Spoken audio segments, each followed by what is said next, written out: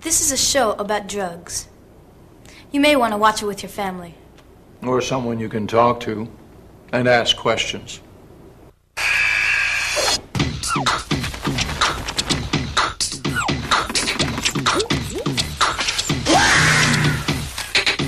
Exercise your head. Read.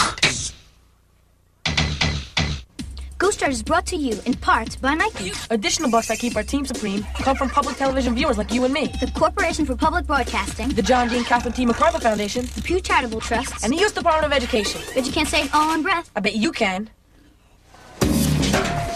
Admit it, Jamal. You miss Casey, don't you? Well, now that she's hundreds of miles away and not invading my room or leaving trails of peanut butter and jelly all over the place, then yeah, I, I guess I kind of miss my cousin Casey. Hey, look.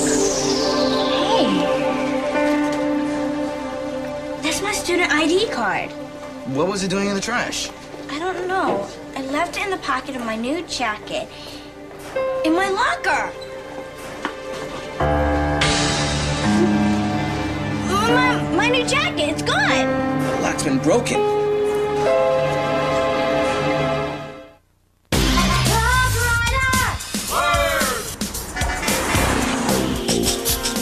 We don't know where he came from. He just showed up one night. What is that thing?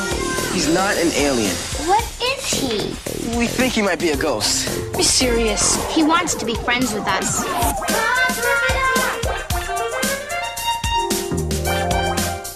But he can't hear and he can't talk. He can read anything.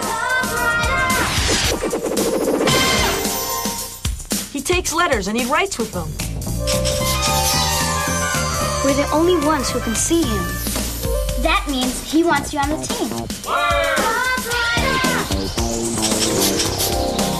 You have to promise never to tell anybody about Ghostwriter. Hey, cool. We're the Ghostwriter team. We check out clues and solve mysteries. He's a ghost and he writes to us. Ghostwriter.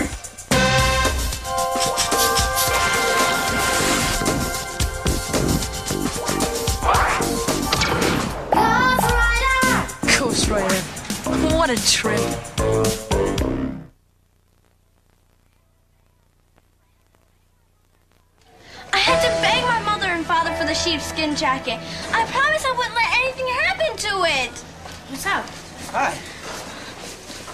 Stole Tina's jackets. What? Your new sheepskin? Yeah. Don't worry, Tina. We'll help you get your jacket back. You know you can count on us, Tina. You can wear my jacket home. But it's cold outside. That's all right. I got my muscles to keep me warm. They call me the Warminator. Thanks, Alex. You're a really good friend. Alejandro, how you doing, man? Me? Fine. Walk to class with me. I got something to talk to you about. Sure. You're Lenny, right? Me? Yeah, money. Cool hat. Thanks. It's one of my favorites. Thanks. It's one of my favorites. oh, please. My camera's gone. Someone stole my camera. Another robbery.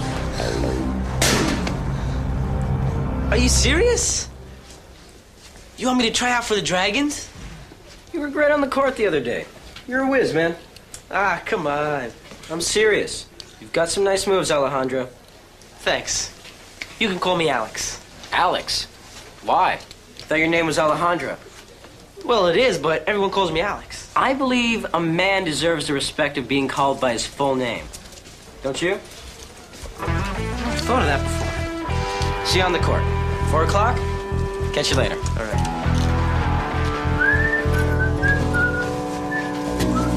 Guess, Guess what?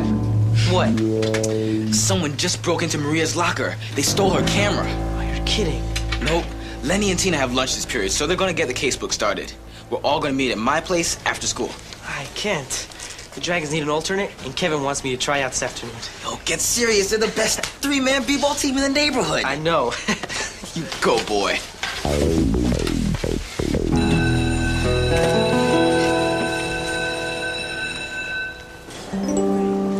Locker thefts. Tina's sheepskin jacket, Maria's super shots camera. I asked Maria if there was anything else besides super shots written on her camera. So Ghostwriter can look for it. Right. But there isn't any writing other than super shots. Just a daisy sticker she put on the back. Well, at least we'll be able to identify it if we find it. Let's go report these robberies to Miss Kelly.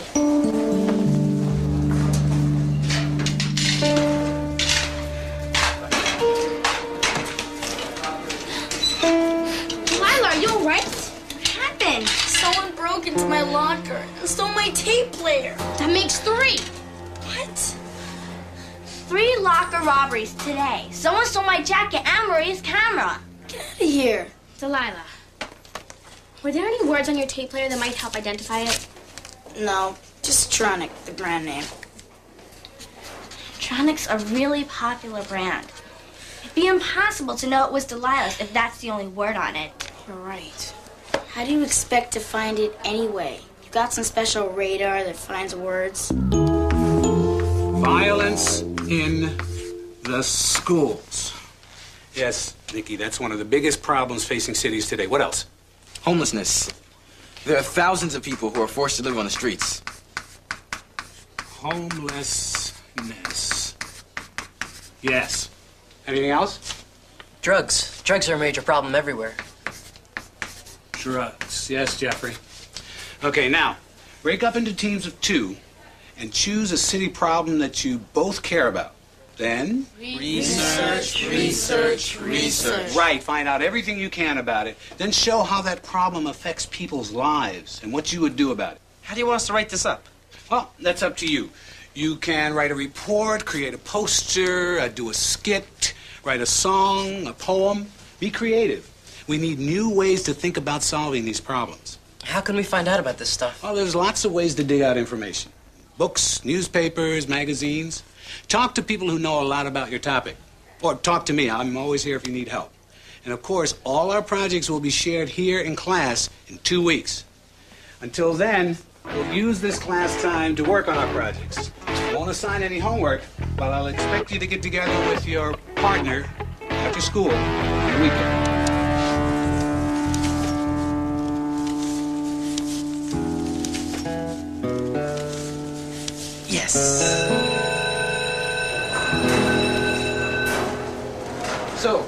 What topic are we going to choose for our urban studies project? Uh, Kevin already asked me to team up with him. Sorry. Oh. Oh, uh, that's all right. I just. Come on. Kevin asked me to hang out with them. See ya. Great. Now who am I going to work with? Hi, Jamal. Hi. I don't have a uh, partner for the Urban Studies project yet. Are you working with anybody? It's not a big deal, Papa. Well, I'm proud of you anyway. Only a real gentleman would be kind enough to give his jacket to a lady in need. Our son is becoming a man right before our eyes. I think he has a ways to go yet, Eduardo. Well, since I'm becoming a man, I should have my own room, right, Papa? Uh, I'm getting too old to share a room with Gabby. And you said you'd think about the storage room. I know. And I am thinking about it. I gotta go. Good luck. Bye. Hope we make the team. Thanks. Alejandro, don't forget, we have a big delivery coming at 5 o'clock, and I'm going to need your help. I won't be late, Papa. Bye. Bye-bye.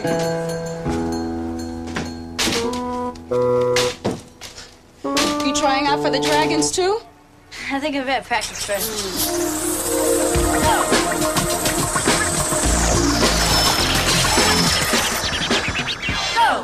Kelly was real mad about the thefts. She's gonna talk to the school board about getting more security in the halls. Do we have any suspects? No, not yet. All we have is a list of the stuff that was stolen. My sheepskin jacket, Maria's Super Shots camera with a daisy sticker on the back, and Delilah's tape player that says Tronic on it. Was there any writing on your jacket? No. Wait a minute.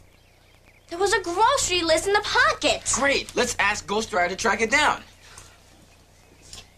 But my mother wrote the list. All the words are in Vietnamese. Do you think Ghostwriter will be able to read it? He might. Remember when he helped you find those Portuguese words to use in your note to Safira? Yeah, that's right. And even if he can't understand Vietnamese, he'll be able to look for the words. Don't worry about it. I'll give you the money tomorrow, Victor. Don't blame me, Kevin. Say that every day. What's going on? I was a fool to lend you 15 bucks. Stop acting like a crybaby. It's time for Alejandro's tryout. I'm tired of begging you for my money. I'm tired of doing everything your way. And I'm tired of carrying you on the court. Carrying me? Yeah, that's right. Check it out. It's all in your professional playbook. It's in there. Give it to me. I quit. What about the tournament? We don't need Victor. If he wants to act like a little baby and quit, let him. Are you ready to see if you have what it takes to be a dragon? Yeah. Take out the ball. Okay, this is what I wrote to Ghostwriter. Someone stole my jacket. A grocery list is in the pocket, but it's in Vietnamese. This is what the list says. Gao, that's rice. Nước mắm, that's fish sauce. And bun, rice noodles. Can you find this list and read what's near it?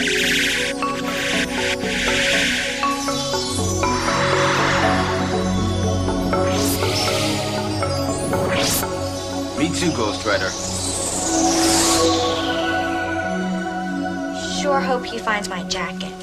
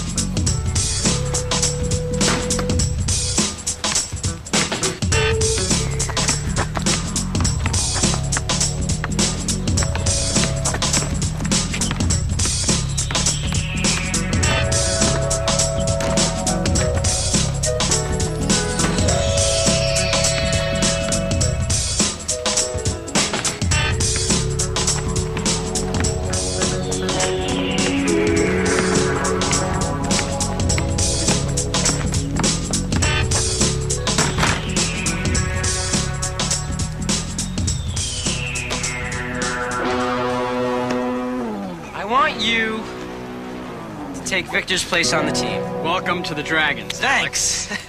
You're gonna need 50 bucks. For what? You gotta buy a Red Riding Hood. Huh? Red Riding Hood is our code name for our dragon's jacket. Oh. You better get to my house so I can teach you the key plays for tomorrow's game. Tomorrow? Yeah, we play the Knights. They're good. But we're better. If we win the next two games, we'll play for the Fort Greene Championship. If? If we win? What's wrong with you? Are you bugging? It's when we win. Not if. And with Alejandro on our team, the unbeatable, undefeatable, three-peatable Dragons will be champs again. Shoot it! Over here, Mr. Weevil!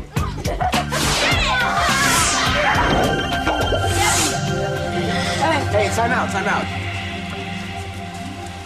Who should have must have found something.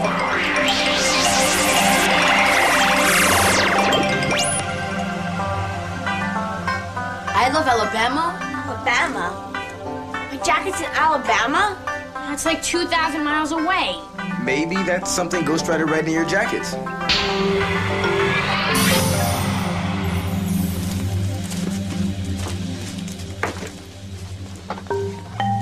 I love Alabama.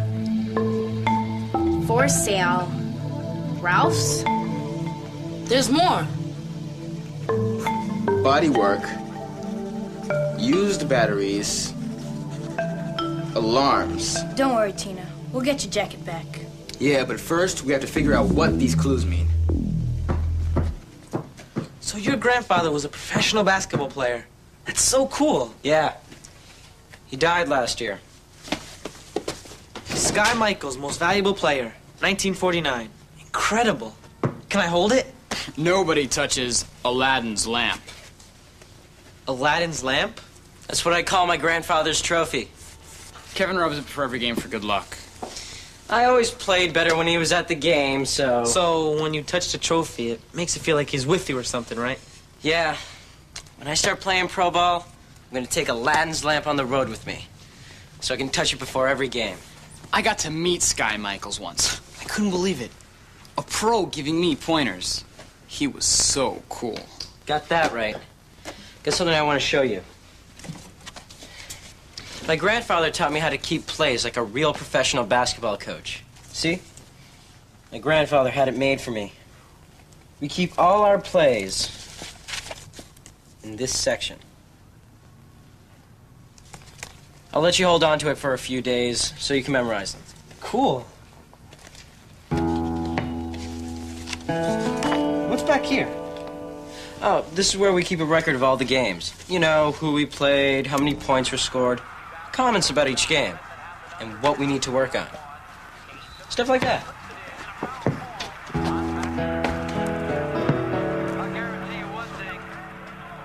We have to figure out how these clues fit together.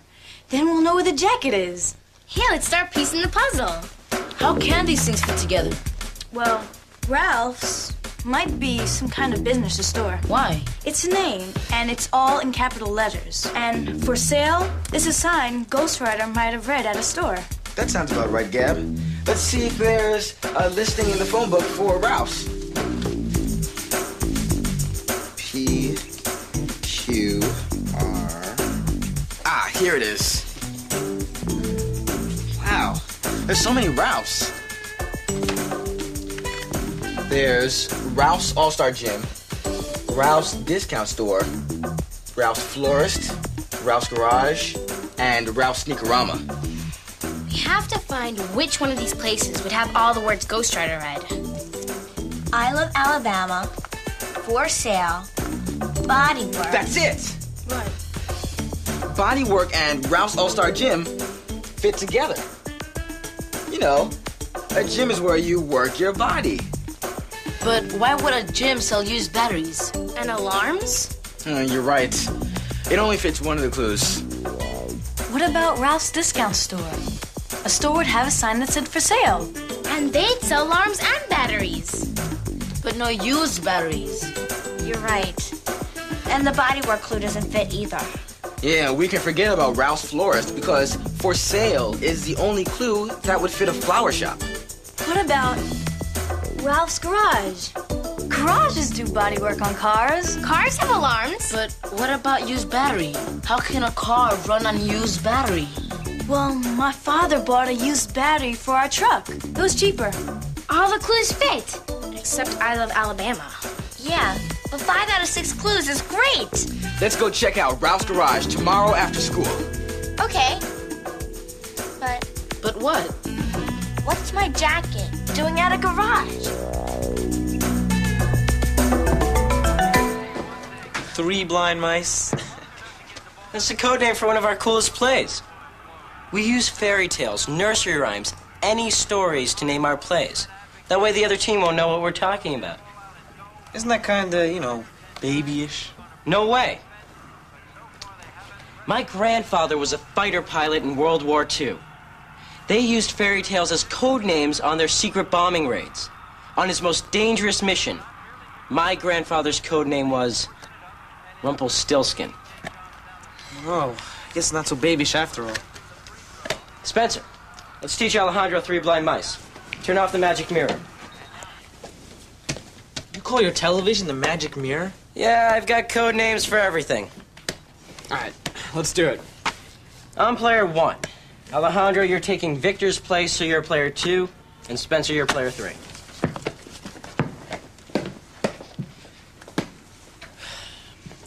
Spencer takes out the ball, giving it to you, Alejandro. Then I run down the left side till I get to the corner. Uh huh. You dribble it towards Spencer like you're going to pass him the ball. Okay. You count to three, and you fake passing him the ball. One 1,000, two 1,000, three 1,000. Good. Now I fake out the guy who's guarding me and cut to the basket. Without looking, you pass me the ball. Oh, I get it. The guys on the other team are the three blind mice. Because they're so busy checking out you and Spencer, they don't even see me sneaking up to the basket. What a setup. Kevin? Come in. Oh, I didn't know you had company. Hi, Spencer. Alejandro, this is my mom. Hi. Nice to meet you, Alejandro. Ooh, I'm gonna be late for work. Gotta go. Bye. Oh, and don't forget your homework. Bye, guys. How come your mom works at night? The bank she works at pays more if you work at night, so I get the house to myself after she leaves. What a life. Do another play. Wait a minute. What time is it? Uh, 5.30. Oh, no. I was supposed to be home at 5 to help my dad at the store. I gotta get home. Great. Since you have a job, you shouldn't have any trouble earning the money to pay for your Red Riding Hood. Well, I don't actually get paid. You don't get paid? Well, Cinderella. Better get home before you turn into a pumpkin or something.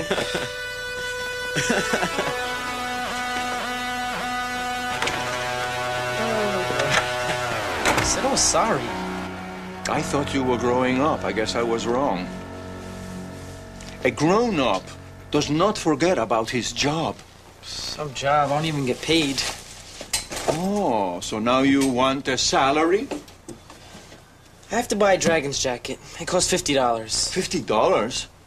We don't have that kind of money to throw away. So then let me get a real job so I can earn the money. You have a real job right here, helping your family to run this store so that you can have a place to live and to put food on the table. And you get paid a lot better than you think. But I just want I don't want to hear any more about it. Now you mop.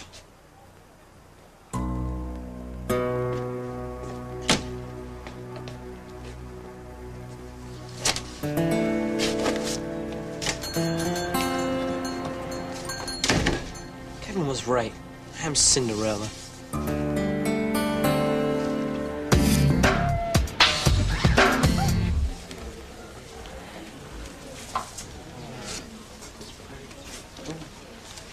Oh, hi, Mr. Johnson. I've got a great idea. We're going to do a project on a problem that's destroying our cities, places all over America. A problem that's. Uh, topic is drugs. Well, that's a very powerful topic. Have you decided on how to approach it? Not yet, but I was A thinking- musical. A what? Yes, a musical. A big musical production about drugs and how they ruin people's lives. We could have a cast of thousands. Oh, Mr. Johnson, I'm sure we'll come up with another idea. Yeah, well, before that, you need to figure out what, what part of the drug problem you want to tackle. You know, Mr. Oliver, the drug counselor, he's here this week. He's a good source of information. All right. We'll check him out after school. Thanks, Mr. Johnson.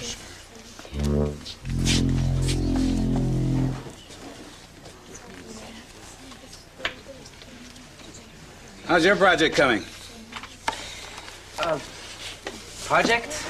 Yes, that's what this class time is for. Which topic did you choose? Topic. Uh, we're sorry, Mr. Johnson, but we don't have a topic yet. Um, the Dragons are playing an important game this afternoon, and Alejandro just made the team. I was teaching him the plays. We'll put it away. Well, I uh, appreciate your honesty. Make sure you choose a topic by tomorrow. I don't want you guys falling behind. I thought you were dead. Relax. I know how to handle teachers. Ralph's. This is it. Look. For sale. Body work, fuse batteries, and alarms. All the signs that Ghostwriter read. But where's I Love Alabama? I don't see it. Me neither. This must be the place Ghostwriter found my jacket. Yeah, the door's open. Let's go in.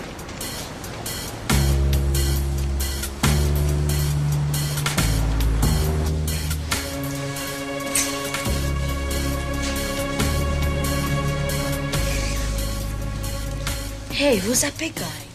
Must be Ralph. Yeah, Big Ralph. What's Delilah doing here? Hey, there's I Love Alabama. I bet your jacket is in that suitcase. She's buying her tape player back. Big Ralph must be the thief. No. I've seen lots of guys like him before. I bet he's a fence. A what? A fence. The Those guys buy stolen stuff from thieves. Then they sell it to other people. So whoever robbed the lockers must have sold stuff to the fence.